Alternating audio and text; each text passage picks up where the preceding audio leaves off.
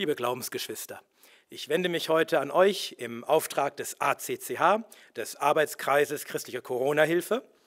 Und ich möchte euch ein wenig erzählen von den Reaktionen, die wir bekommen haben auf den Gebetstag, zu dem der ACCH aufgerufen hatte am letzten Sonntag im Januar.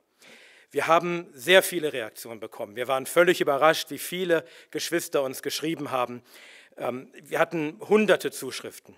Einmal aus dem deutschsprachigen Raum, aus Deutschland, Österreich, der Schweiz, Luxemburg und äh, darüber hinaus auch aus, aus anderen Ländern, aus Spanien und Rumänien und Ungarn und sogar aus Paraguay haben uns Zuschriften erreicht.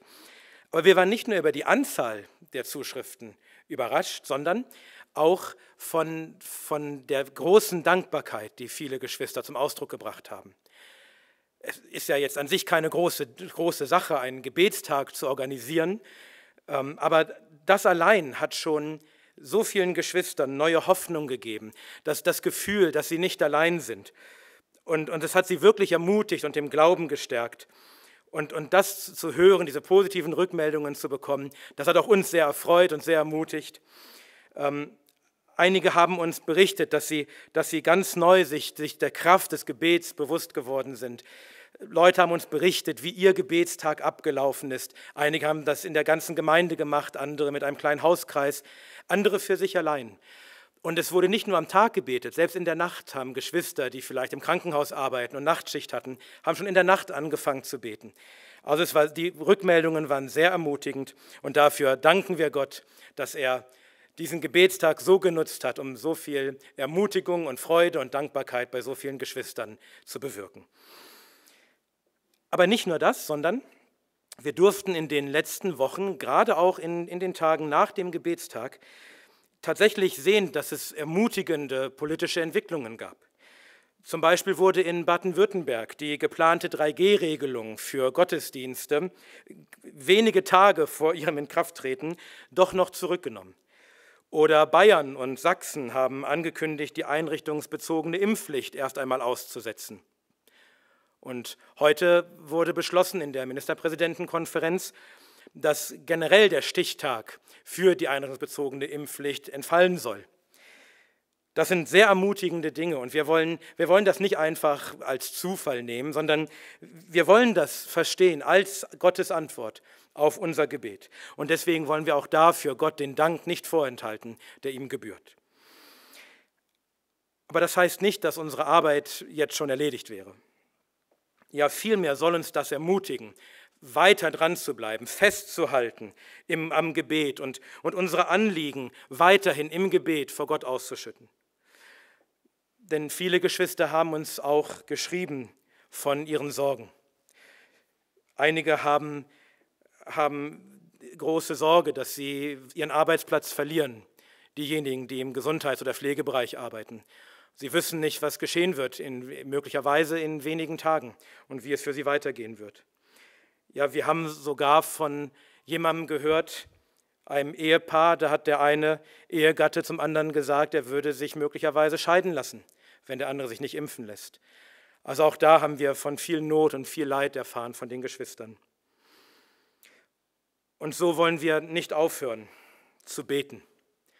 Und deswegen möchten wir als ACCH zu einem zweiten Gebetstag aufrufen. Und zwar soll der stattfinden am Sonntag, den 27. Februar. Das heißt am letzten Sonntag im Monat Februar.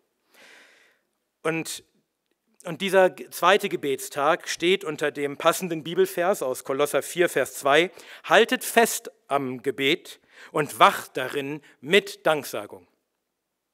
Und und das wollen wir tun. Wir wollen dranbleiben, festhalten am Gebet, um, um für die Dinge zu bitten, wo wir Gottes Eingreifen brauchen. Aber wir wollen auch nicht vergessen, Gott Dank zu sagen für das, was er schon getan hat.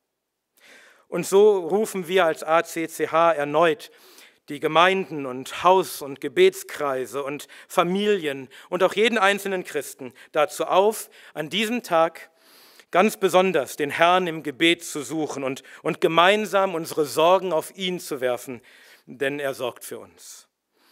Die Gebetsanliegen für diesen zweiten Gebetstag haben wir wieder in einem Flyer zusammengestellt.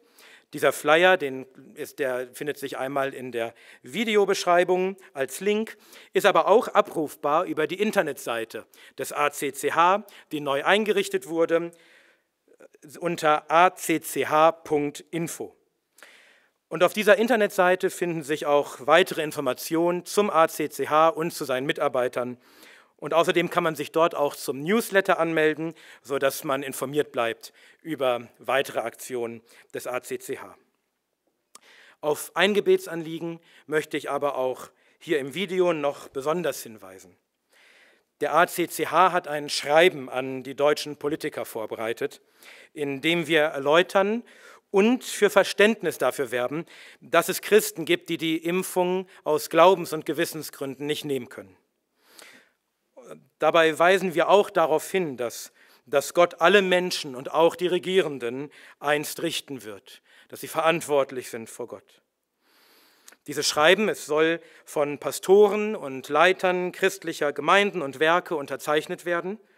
Und aktuell befinden wir uns in diesem Unterschriftenprozess und wollen, so der Herr will, in der nächsten Woche dieses Schreiben dann an die Politiker verschicken.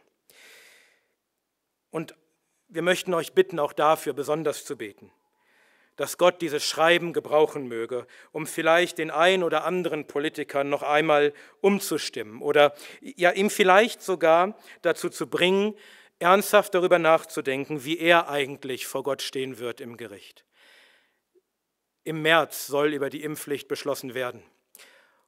Und heute bei der Ministerpräsidentenkonferenz wurde erneut bestätigt, dass die Impfpflicht gewollt ist.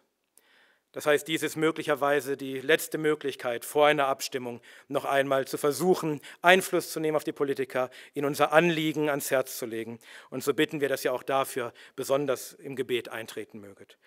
Und so lasst uns diesen zweiten Gebetstag am Sonntag, dem 27. Februar, lasst ihn uns nutzen, um gemeinsam vor den Herrn zu treten und, und voll Glauben zu ihm zu beten und lasst uns Großes erwarten von unserem Gott, so wie es heißt, denn viel vermag eines gerechten Gebet in seiner Wirkung. Im Namen des ACCH wünsche ich euch allen die Gnade und den Frieden von Gott, unserem Vater und unserem Herrn Jesus Christus.